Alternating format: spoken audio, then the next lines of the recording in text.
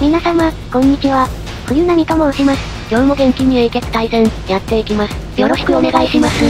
今回使うのは、小波王の大号令、石壁典型入りの4枚型です。1.5コスト枠はそこはやっぱりネネさんですよ。お相手も青ですね。前田と坂本の2枚看板です。一挙もんでやるか。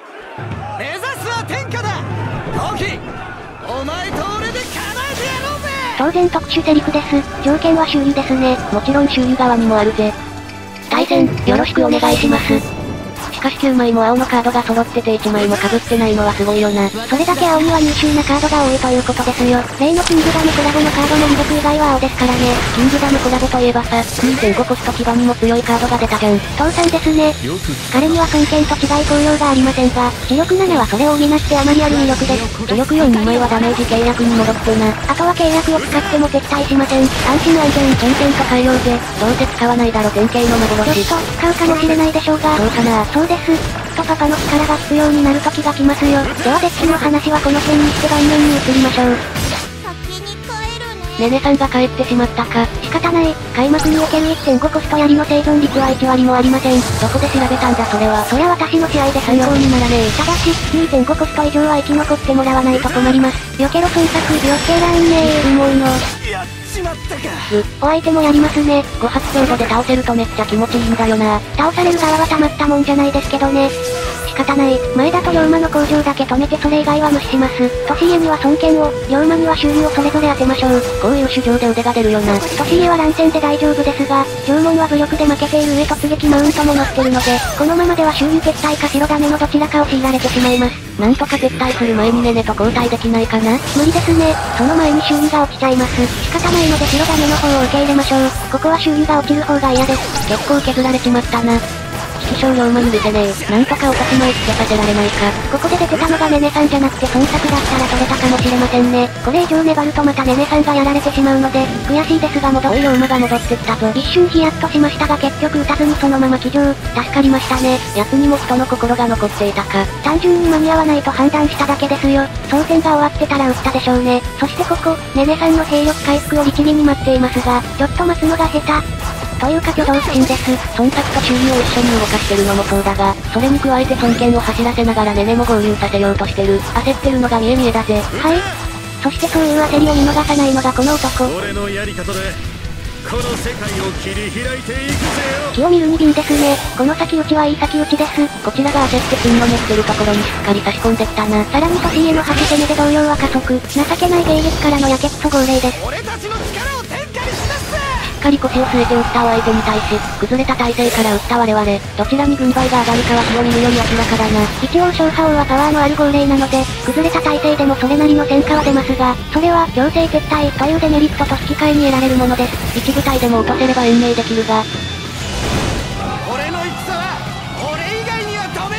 落とせなければ待っているのは辛く苦しい主情フェーズか。さらに前田の端攻めも効いてます。もしかしたら主張が始まる前に、なんてことも、お相手はここで流派発動、磁力で向上速度を上げられるのが一番嫌ですが、一旦勢力だけか、まあこの後知力も上げる可能性はあるけど、こちらの流派を使っておきましょう。選択は、3の方、相変わらず速攻で選んだな。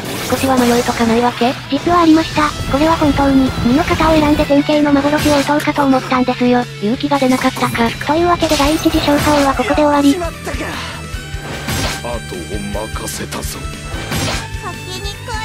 当然すぐに戦機を使います。レベル4天目の復活現象は23秒。修理だけちょっと早かったもののほぼずれなく撤退したから。あと7秒で全員戻ってきますな。7秒。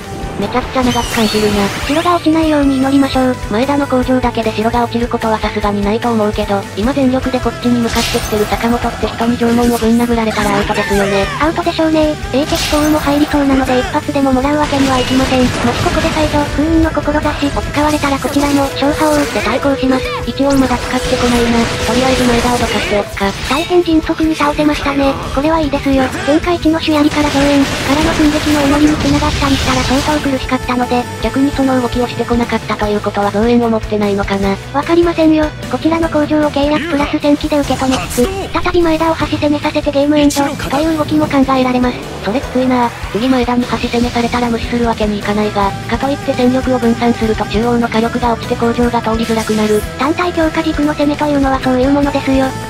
ただし、こちららにも号令使いとしての意地がありますへこたれるわけにはいきませんね。まずは U 派で式キャップを解放します。ちゃんと1の型使えてて偉い。避けろ尊敬、あいだだだだだだだだ、殺すっか。オーラが消えたところをしっかり狙撃してきたな。そしてそのまま契約発動。